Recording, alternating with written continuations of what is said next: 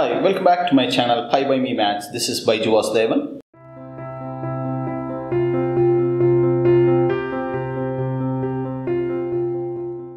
So here we are going to learn chapter 7 normal distribution.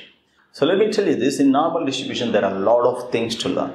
But this video is for those who are taking IAL Pearson Edexcel curriculum because I'm going to teach what's given in the IAL Pearson Edexcel textbook. So what are the things you need in order to learn this chapter? You need to get ready with your textbook. If you don't have the textbook, I will leave a link in the description below. You can download the PDF version of the textbook and you need to have the data booklet. You all should know you will be given a data booklet in the exam. I will leave a link in the description for you to download the PDF copy of the data booklet and you need to have a scientific calculator. So first, we learned about discrete random variable in chapter 4, right? Discrete random variable is a random variable that takes particular value. Here we are going to talk about continuous random variable. So let's say you are taking the survey about the height of the adults in a certain place. So you always group them. That's a continuous random variable. We discuss about this in chapter 4, right? So let's say x takes the values 140 to 150, 150 to 160. So you group them, okay? Here uh, the frequency, how many of them between this height? So let's say like 200 of them. And here let's say you have 450 or something like this, okay? So this is a continuous random variable.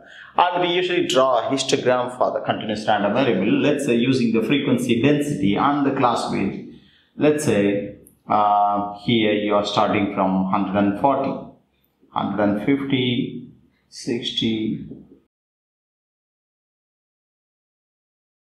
So let's say you get a histogram like this. you can draw a histogram for this data, right? Listen to me carefully. Now, if you reduce the width of this, instead of taking 140 to 150, you frame another table.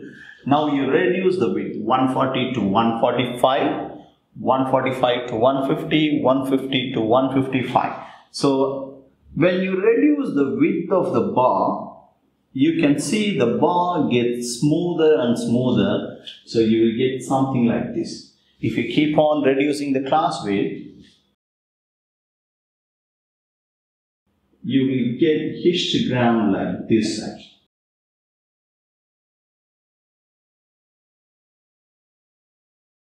Something like this okay if you keep on reducing the width so the this one, the curve, if you look at the top of this histogram, right, it's going to be a bell shaped actually. The mean of the data would be in the middle. The mean would be in the middle. Let's say mean is like 175. The 175 would be here. So in this normal distribution, we are not going to interpret histogram here. We will always be drawing a bell curve. For every question, you are going to draw a bell curve with the mean in the middle. Okay? And you need to know about certain notations and parameters here. So when a variable, random variable follows normal distribution, this is how we write it. Let's say the mean in the, is in the middle. We are going to use mu to denote the mean. And let's say sigma is the standard deviation we are going to write it as x we put this little wavy line n of mu comma sigma square. That's how we are going to write. What does this mean? This means the variable the continuous random variable x follows a normal distribution with mean mu standard deviation sigma. So let's say you see this n of 10 comma 25 you should know the mu mean is uh, 10 and sigma square is 25 so standard deviation is square root of 25 5 okay? So if you see this notation it's just telling us that the random variable follows a normal distribution with mean 10 standard deviation 25 so you are always going to see this bell curve. In fact for every question you are solving you have to draw this bell curve to interpret the data given. Now we are going to learn a few characteristics about this bell curve. The bell curve has a mean here. Let's say for this data mean is 175. The curve is always symmetrical about the middle line mean. The curve is symmetrical about mean. So the next thing is the area under the curve is 1. In discrete random variable we learned sum of the probability is always 1, right? When you add all the probabilities, you will get 1. Here, the area under the curve is equal to 1. So when, this, when we say area under the curve, don't think about integration and all. Here we are talking about probability. This whole thing is going to be 1, the area under the curve. You will understand it better when we talk about uh, uh, how to use the tables and all. So do not worry about it. Now all you need to do is mean is in the middle, which is mu. Here in this case, mu is 175 and then the, the curve is symmetrical about this uh, middle line.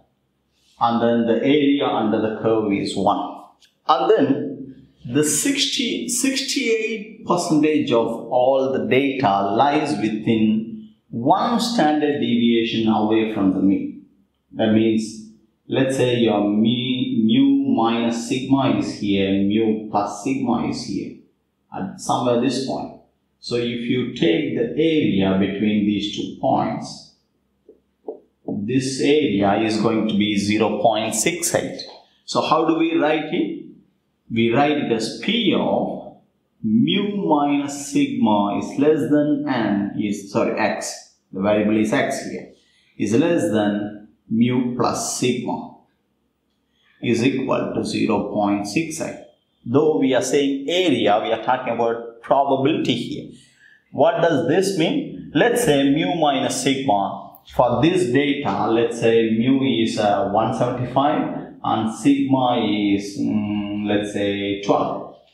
So mu minus sigma is going to be 175 minus 12, which is 163, is less than x, is less than mu plus sigma 187 so probability of this, that means if you select a random person, probability that his height will be between this 163 centimeter to 187 centimeter is going to be 0.68. That's what this means. And then if you take mu minus 2 sigma, let's say mu minus 2 sigma is here, mu plus 2 sigma is here and if you take the area between these two points, the area between mu minus 2 sigma to mu plus 2 sigma, it's going to be 95 percentage of the data lies within this range. So it's going to be 0.95.